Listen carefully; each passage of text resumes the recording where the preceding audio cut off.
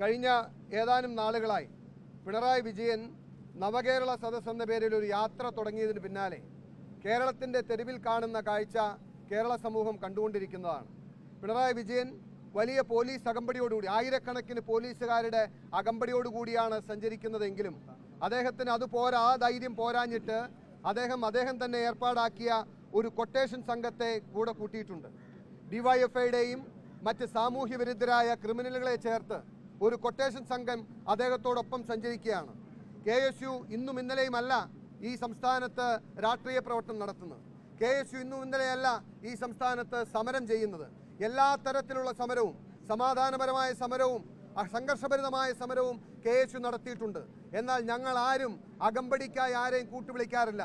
പക്ഷേ ഇന്ന് D G P ഓഫീസിലേക്ക് ഞങ്ങൾ മാർച്ച് നടത്താനുണ്ടായ സാഹചര്യം എന്ന് പറയുന്നത് സി സി പി എം ഏർപ്പാടാക്കിയിട്ടുള്ള മുഖ്യമന്ത്രി ഏർപ്പാടാക്കിയിട്ടുള്ള കൊട്ടേഷൻ സംഘത്തിന് കാവൽ നിൽക്കുന്ന പണിയാണ് പോലീസ് കഴിഞ്ഞ കാലങ്ങളിൽ ചെയ്തുകൊണ്ടിരിക്കുന്നത്. അവർക്ക് ഒറ്റയ്ക്ക് വന്ന് മർദ്ദിക്കാൻ ധൈര്യമില്ല. ഒറ്റയ്ക്ക് കെ എസ് യുവിനെയും യൂത്ത് കോൺഗ്രസിനെയും നേരിടാൻ ധൈര്യമില്ല. മറിച്ച് അവർക്ക് വേണ്ടി police K S youth Congress പ്രവർത്തകരെ പിടിച്ചു വെച്ചു കൊടുക്കുകയും ഞങ്ങൾ തിരിച്ചടിക്കുമ്പോൾ ആ കെ എസ് യു പ്രവർത്തകരെയും യൂത്ത് കോൺഗ്രസ്സുകാരെയും തെരഞ്ഞു പിടിച്ചാക്രമിക്കുകയും ഈ കുട്ട ഈ കൊട്ടേഷൻ സംഘത്തിന് ഈ ഗുണ്ടാ സംഘത്തിന് ആ എല്ലാ സൗകര്യങ്ങളും ഒരുക്കി കൊടുക്കുന്ന ഈ പോലീസിന്റെ ഈ പണിക്കെതിരായിട്ടാണ് ഞങ്ങൾ ഡി ജി പി ഓഫീസിലേക്ക് ഇന്ന് മാർച്ച് സംഘടിപ്പിച്ചിട്ടുള്ളത്. ഞങ്ങൾ വളരെ വിനയത്തോടു കൂടി നിങ്ങളോട് ഒരു കാര്യം പറയാൻ ആഗ്രഹിക്കുന്നു. ഈ കേരളത്തിൽ ഏ, സമൂഹം മൊത്തം പോലീസുകാരെയോ പോലീസ് മേധാവികളോ ബഹുമാനിക്കുന്നത് നിങ്ങളുടെ വലിപ്പവും നിങ്ങളുടെ ശക്തിയും നിങ്ങളുടെ പദവിയും കൊണ്ട് മാത്രമല്ല. കേരള സമൂഹം നിങ്ങൾ ധരിക്കുന്ന ആ കാക്കി കുപ്പായത്തിന് വില കൽപ്പിക്കുന്നു എന്നതുകൊണ്ടാണ്. നിങ്ങൾ കാക്കി ധരിച്ച് ഈ ഈ ഡിപ്പാർട്ട്മെന്റിന്റെ ഭാഗമായി പോലീസ് ഉദ്യോഗസ്ഥരിൽ കയറുമ്പോൾ നിങ്ങൾ നൽകുന്ന ഒരു പ്രതിജ്ഞയുണ്ട്.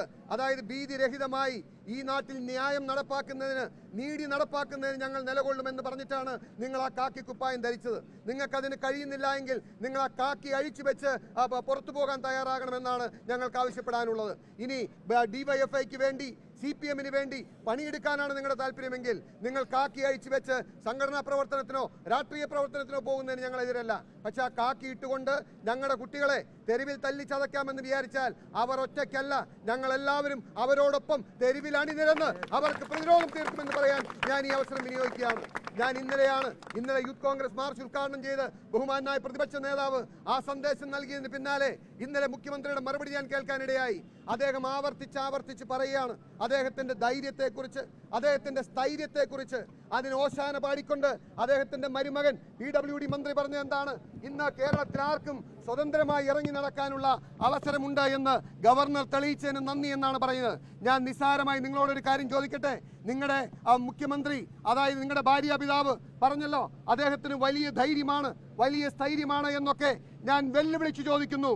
ഇന്ന് ഗവർണർ പോയതുപോലെ പോലീസിന്റെ അകമ്പടി ഇല്ലാതെ കൊട്ടാശ കൊട്ടേഷൻ സംഘത്തിന്റെ അടിവായി അകമ്പടി ഇല്ലാതെ പിണറായി വിജയന് കേരളത്തിൽ എവിടെയെങ്കിലും ഇറങ്ങി നടക്കാൻ ധൈര്യമുണ്ടെങ്കിൽ K S U youth Congress വെല്ലുവിളിച്ച് ചോദിക്കുന്നു. നിങ്ങൾക്ക് അതിന് പുറത്തിറങ്ങാനുള്ള ധൈര്യമുണ്ടോ?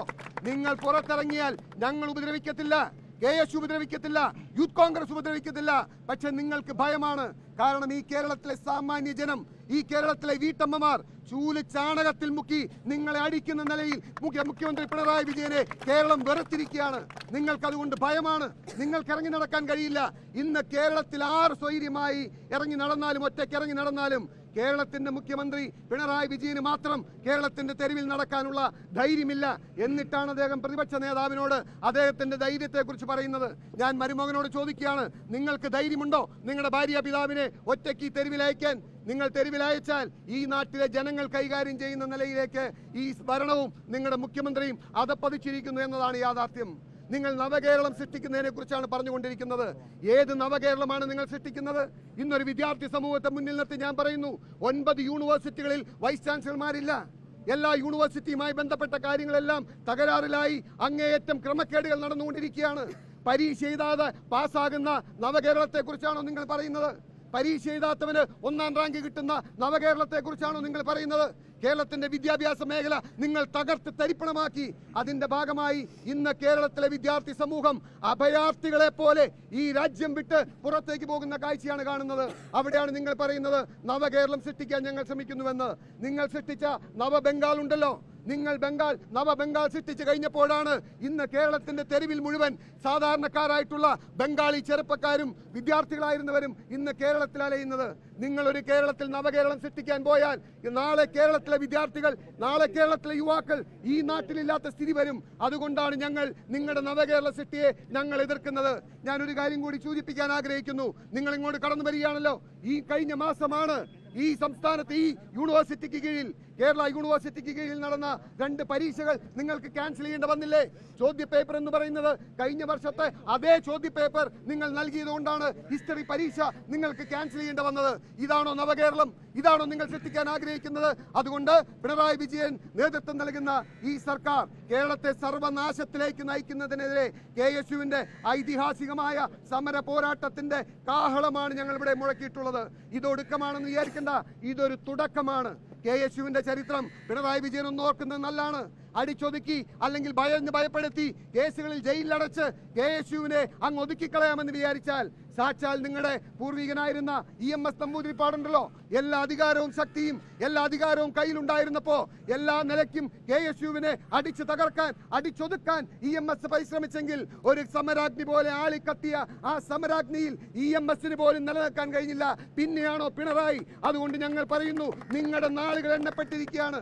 ഞാൻ ഒരു കാര്യം കൂടി പറയുകയാണ്. ഈ തെരുവിൽ വീഴുന്ന ഓരോ കെ എസ് യുക്കാരന്റെ രക്തവും ഞങ്ങളുടെ ശരീരത്തിൽ നിന്ന് ഇറ്റു വീഴുന്നത് പോലെയാണ് ഞങ്ങൾക്ക്. ഓരോ യൂത്ത് കോൺഗ്രസ്സുകാരന്റെ രക്തവും ഞങ്ങളുടെ ശരീരത്തിൽ നിന്ന് വീഴുന്നത് പോലെയാണ്. അതുകൊണ്ട് യൂത്ത് കോൺഗ്രസ്സുകാരും കെ എസ് യുക്കാരും ഒറ്റയ്ക്കാണ് എന്ന് നിങ്ങൾ കരുതണ്ട.